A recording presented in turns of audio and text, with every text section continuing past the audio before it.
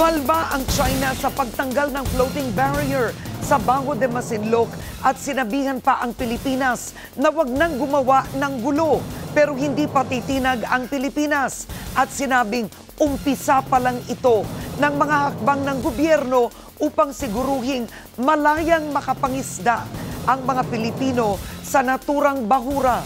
Nagpapatrol, Sherry Ann Torres.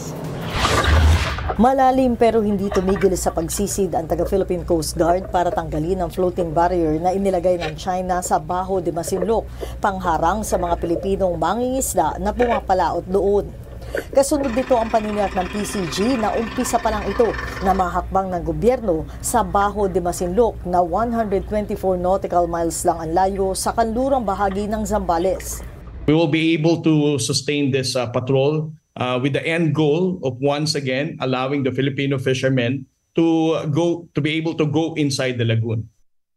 Giit ng China, hindi umano nagpaalam ang Pilipinas noong September 22 na papasok sa Bahura na tinatawag nilang Huangyan daw at bahagi umano ng kanilang teritoryo. Kaya hinarang at itinaboy nila ito saan nila'y paraang profesional at may pagpipigil. Kinundi na rin ng China ang pag-aalis ng Pilipinas sa floating barrier sa Baho de Masinloc. Sabi pa ng tagapagsalita ng Chinese Foreign Ministry sa Pilipinas, huwag nang gumawa ng gulo. Buwelta naman ng PCG, It was already decided by the International Tribunal. Uh, Bajo de Masinloc is a traditional fishing ground. The nine-dash line claim of the People's Republic of China has no valid basis. Bajo de Masinloc falls within the exclusive economic zone of our country. Yan eh, kasi nga... Hinihintay naman ni Foreign No Affairs Secretary Enrique Manalo ang buong that ulat ng PCG, pero giit niya, tama lang ang ginawa ng PCG. That is within our sovereign rights. Any obstacle or any kind of harassment is uh, not in accordance with UNCLOS and the rights that the countries have with respect to the EEZ. No other country can really challenge that.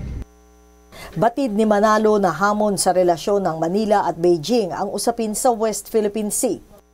We both recognize that we have differences in South China Sea, and uh, we have agreed to manage it.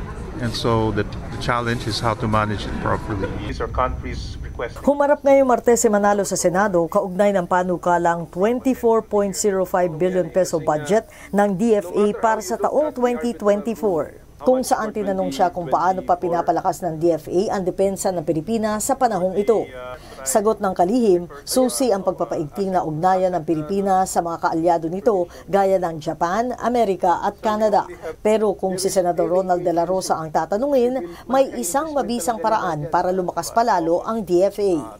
dapat ang DFA bigyan natin malaking suporta for me because alam kong our counterparts from other countries malaki ang investment talaga nila dyan sa kanilang mga DFA.